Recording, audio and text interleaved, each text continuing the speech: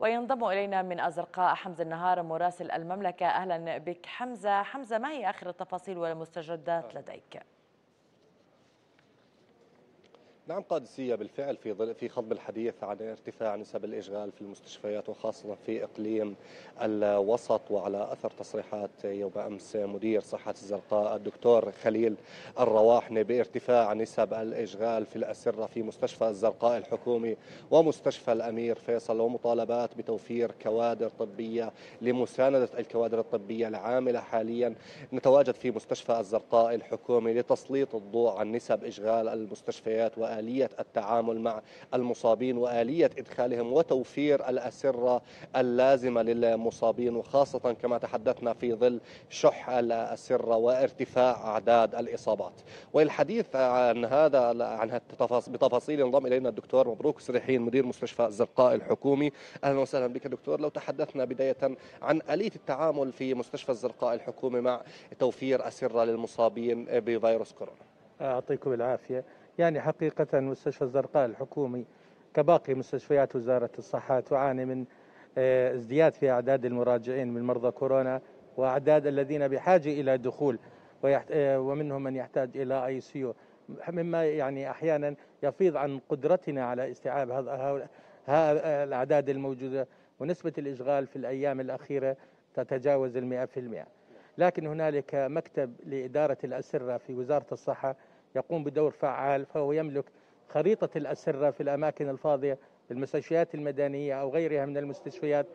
فحين يكون هنالك مرضى بحاجة إلى دخول ولا يوجد في مستشفانا أو في مستشفى آخر تابع لوزارة الصحة يقوم بالتواصل مع هذا المركز وهو بدوره يقوم بتحديد الأماكن الفارغة وأين يمكن توجيه المريض.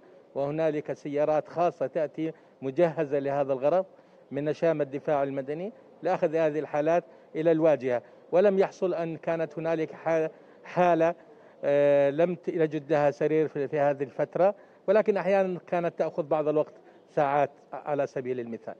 دكتور يوم أمس كانت نسبة الإشغال وفق مدير الصحة 100% هل تغير الحال اليوم؟ ارتفعت نسبة الدخول خروج المواطنين؟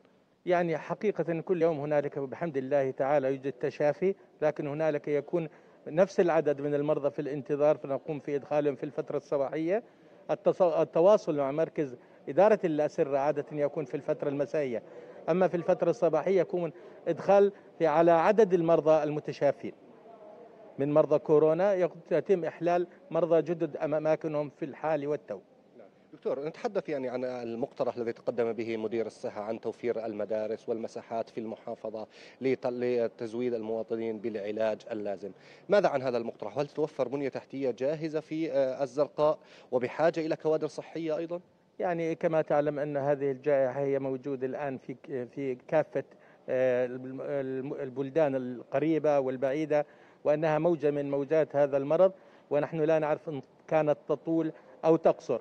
لكني لا أراه الآن أنه قد يحل مشكلة في في طارئا لهذا الأمر. يعني قد تكون فكرة جيدة. إذا فكر فيها كخطة بعيدة الأمد لشهرين ثلاث لأنها تحتاج الكثير من التجهيزات وتحتاج الكثير من الكوادر. ولكنها فكرة جيدة.